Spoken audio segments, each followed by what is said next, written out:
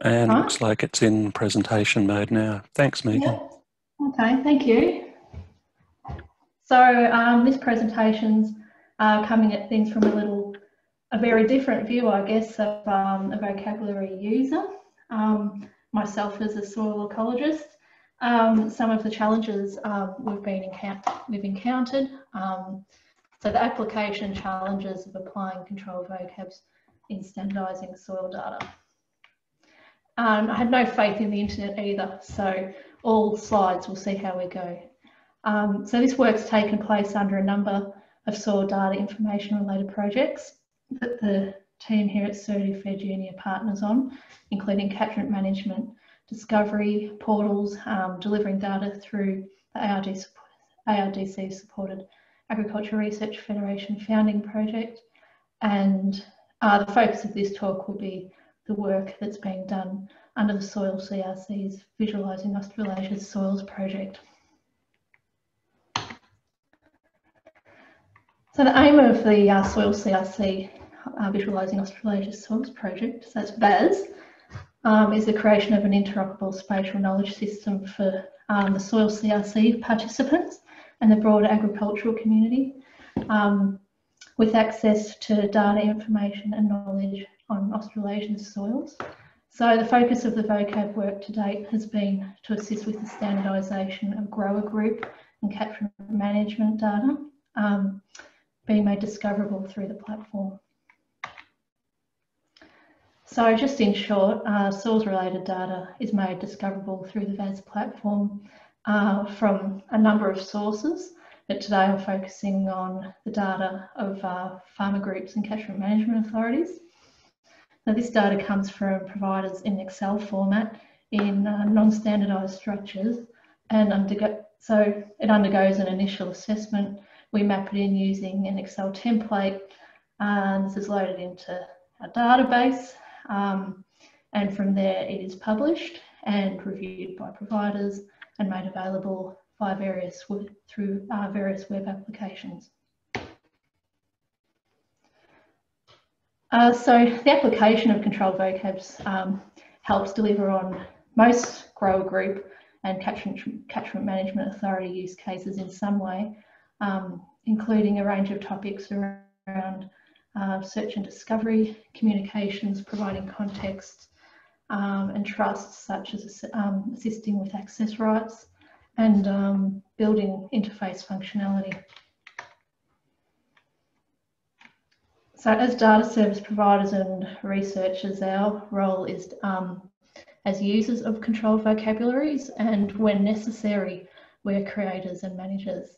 So the focus of this talk is how we're using controlled vocabs to standardise data and the, um, the challenges that we've encountered.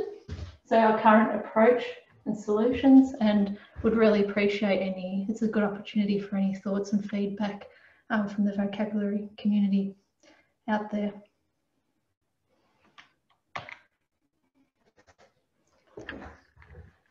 So this is a simplified um, uh, observation and project content um, project content data model, and it highlights the vocabularies we're currently using to help standardise soil data. They include properties being observed, the procedures that are being used to make the observations, and what is being measured, so the specimen. So we use vocabs to describe the results where there are certain values, to describe the features uh, and the, relate the relationships between the features, as well as some project specific information such as organisation type and commodity. And we're also using units of measure control vocabularies in a number of ways, as highlighted here. So here's just an example um, of the data viewed through the interface. Um, you can see observations at depth, which are selected from a certain location from a map. So hover over and you'll see the control vocabularies used to describe the observable properties, the procedure used to um, measure those observable properties, uh, units of measure, and the results. So here's just a bit of an excerpt of some interface functionality which is in development.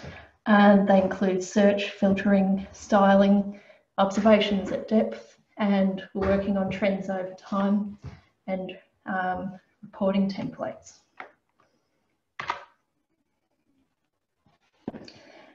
So now here if, um, I'm going into some of the various challenges we've encountered um, as vocabulary users. Um, using vocabs to describe the soil data and some of the approaches that we've taken. So one of the first questions we um, come up against is, is it appropriate to use international terms to describe our soil data? So in this example, is it appropriate to use these terms to describe our soil features? Uh, this is a question um, for the Australian soils community. Um, we did, we've used terms from Inspire and the examples that we've applied or are applying in some cases are shown in blue in this diagram. Uh, as a as a vocabulary user, I found it quite challenging to find and interpret uh, interpret vocabularies for that describe relationship types and the roles of um, the roles of the relationship roles between the features. Um, so eventually found them and we've applied um, we've applied these um, and these terms were from the uh, relationship ontology, which is intended for use um, with biological ontology, and they're shown in orange on this diagram. So in regard to uh, sampling, spatial sampling features sampling methods, um, these vocabularies were quite challenging to find, and when they were found, um, we found them under GS Thesaurus. Um, the definitions of the concepts read more like um, sample types rather than sampling methods. So we're not 100% convinced that we've got the right vocabulary terms here yet.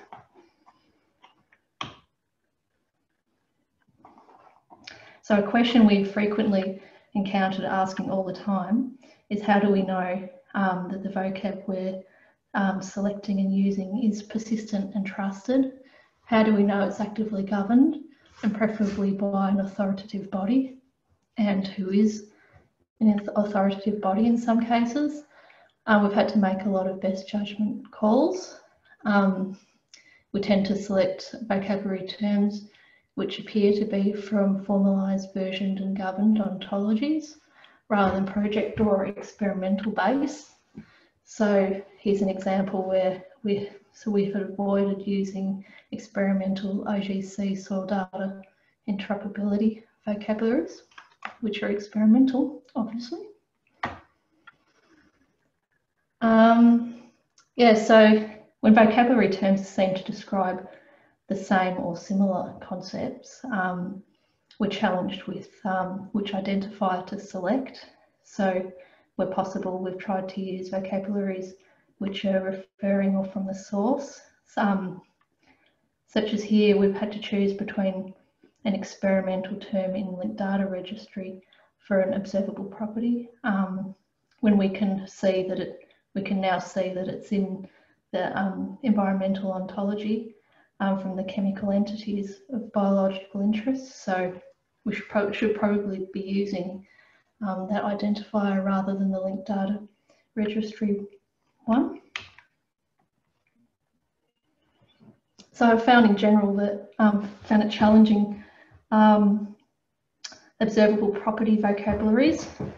So finding finding those in um, in relation to soils. Um, We've been using mostly experimental terms, creating as, created as part of a project uh, that's available um, in the CSIRO linked data registry at the moment, which is really not ideal, but that's what we're using for now. And when we have found observable properties out there, the question is, are they the ones we should be applying um, to soils data? Um, so, for example, we have concentration of ammonium in soil here.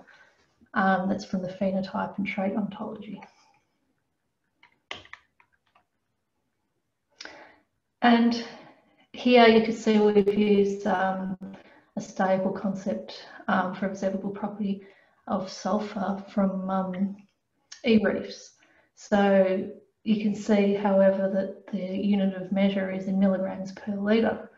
So what implication does this have for us when we're applying it to sulfur concentration, um, which can be report, which we're reporting um, in multiple units of measure, and none of which are um, milligrams per litre.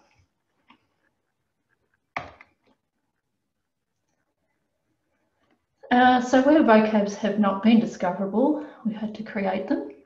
And I'm constantly asking, we are constantly asking the question, are we sure they don't exist out there or have we just not found them? Never 100% sure. Um, so we've had, we have needed to create soil chemical procedure vocabularies um, and asserted values that we receive from, from providers. Um, we have gotten up with um, with uh, Simon and Jonathan's help through the AgReFed project, the um, the Green Book. So that's um, Australian Standard for Chemical Methods. And when we do um, create vocabularies, um, at the moment we're using the Excel to LDR tool and the user interface of CSIRO linked data registry.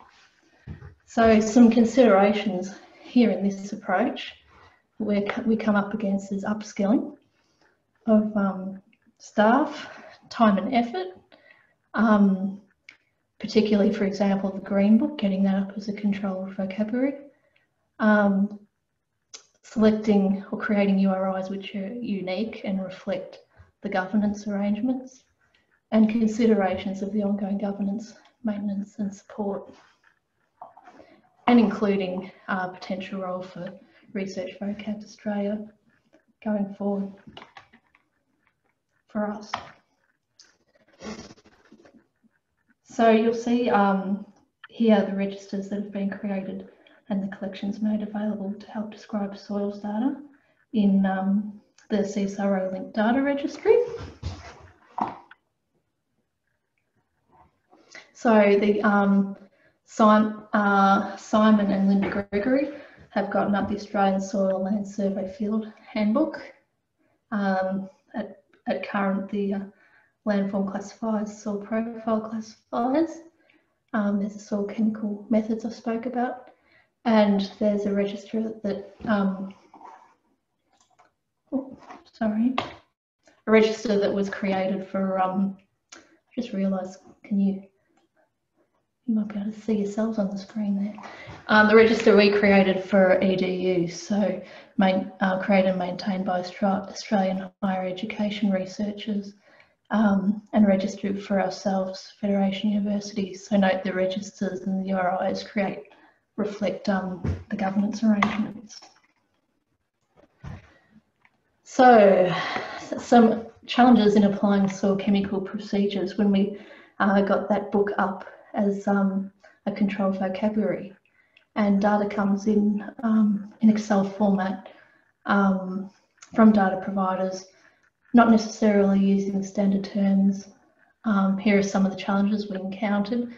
So on the left, this is the kind of information you see from a data provider. Here they've got more, example one, they've got more than one code. So um, the pH example um, we've had to create a generic procedure code. Um, the ammonium one at the top, the provider clarified that it was indeed 7C2B.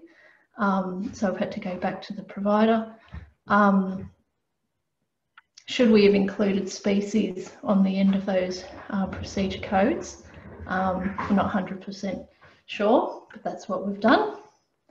Um, so Example two, this is an example where you get multiple um, carbon procedures coming in and it's not clear and it's just not clear um, what type of method is used or whether it's a green book code. So again, we've had to go back and clarify with the provider. And it, so this is challenging. It's not always um, possible with historic data to get that clarification. Um, we've got combinations of procedures and calculations within the one term. So we've had to create an identifier with the description that indicates that this procedure is a calculation case based. This is a um, this is identifier saying that the procedure is a calculation based on an under on an underlying method. Um, so example four is that's that's just not a Green Book method at all. So we've had to create a new vocabulary for the Bromfield method. And then example five, we've got extensions of the Green Book. So where the method was applied a different way to what it was intended and extended out. So some challenges we've encountered when applying the Australian Standard for Soil Profile descriptions. We've just begun this work, so describing soil profile data. An example, um, so the main challenge is that um, observable properties um, of the Green Book, of the Yellow Book, which are up, um, the definitions tell us something about how the observable property was actually measured in example one, it says that field texture was measured by or using the Northcote triangle. Um, so it implies the method in there. And we have results come in where you don't know the method that the provider used.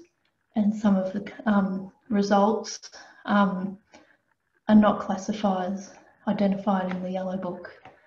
Um, the example of colour, uh, for example, they say the um, method the procedure is kind of implicit in this observable property of colour as well, that they use the Munsell colour system. We get results in that all results that come in are not in accordance so far with the Munsell colour system. So how do we apply, apply these observable property identifiers from the yellow book and the classifiers? So it's very much a work in progress. It's kind of the most recent um, recent work we're or investigating. So um, the question is, do we need to create um, identifiers for procedures? Do we need to create new observable properties when for the uh, to describe the data from providers which um, do not match the yellow book observable property or measured in a different way? Um, we've got the classifiers of the yellow book which are up, but we have data's, data coming in um, which use classifiers or asserted values that do not match the yellow book. So we're having to get up um, uh, classifiers there. And some more, just some more random thoughts for Australian soil scientists, chemists, ontologists, is it's quite a challenge linking the observed prop properties in some cases to um, the species for the Green Book procedures. For example, um, extractable copper, this method 12A1. So should we be associating it with um, copper cation, copper group molecular entity, which one? At the moment we're doing this in our database. Um, the definitions for the procedures do not exist. The, de the definitions within the Green Book are really lengthy They're pages long. Um, so that's a role potentially for the governing body of that um, and authors of that Green Book, future versions, and um, so appropriate governance and extension of this vocabulary is, is a question. And um, some more thoughts for, um, in particular, regarding the Australian soil and the, the, uh, the Yellow Book. is um, so what is being measured, so the species, um, are not available as control vocabularies. Um, and in most, in most cases, or in a lot of cases, we need Australian specific definitions. For example, um, for which are available but just not as controlled vocabularies, they're, they're buried within the yellow book. So the definition um, of the species gravel, um, clay, sand, silt. And this slide's just really an ending slide of recognising that we don't exist, this work doesn't exist at all in a bubble. So we need to remain informed of the work and the roles of the various national states, territories, their partners, the global community. So here are just some to paint the bigger picture. And there's all the, thanks to the um, contributors, the, these are the um, farming systems and catchment management authorities data that we've been working with and the university partners on, other research partners on VAS which I believe actually some of them might be on the call, Brandon and David, and also uh, Andrew um, from FedUni is on uh, this uh, call as well. So any questions? That's it, thanks.